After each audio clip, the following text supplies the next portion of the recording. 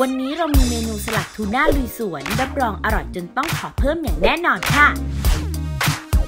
เริ่มจากใส่พริกขี้หนูสวน กระเทียมสับและรากผักชีสับเติมน้ำมะนาว เกลือ น้ำตาลทราย น้ำต้มสุก และสลัดครีมตรามอลลี่ เนื้อเนียนละเอียดมันเป็นเงา น่ารับประทาน ใช้เป็นน้ำสลัดจานโปรดและสร้างสรรค์ความอร่อยได้หลากหลาย ปั่นจนส่วนผสมเนียนละเอียด เตรียมไว้เป็นสลัดครีม จากนั้นนำแผ่นปอเปี๊ยะยวนจุ่มน้ำให้ทั่วแผ่น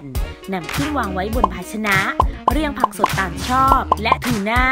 จับแป้งม้วนให้แน่นแล้วหั่นครึ่ง จัดเสิร์ฟพร้อมกับสลัดครีมซีฟู้ด เห็นไหมล่ะคะว่าทำง่ายนิดเดียว ใช้เวลาไม่นานกับเมนู สลัดทูน่าลุยสวน รับประกันความอร่อยโดยผลิตภัณฑ์น้ำสลัดรามอลลี่ สามารถหาซื้อได้แล้วที่ซูเปอร์มาร์เก็ตชั้นนำและร้านค้าทั่วประเทศ